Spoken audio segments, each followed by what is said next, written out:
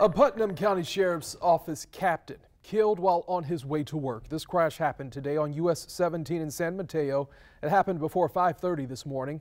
He was an 18-year veteran of the Sheriff's Office and members of the Sheriff's Office and Police Department honored him today and escorted his body to the medical examiner's office. Mm.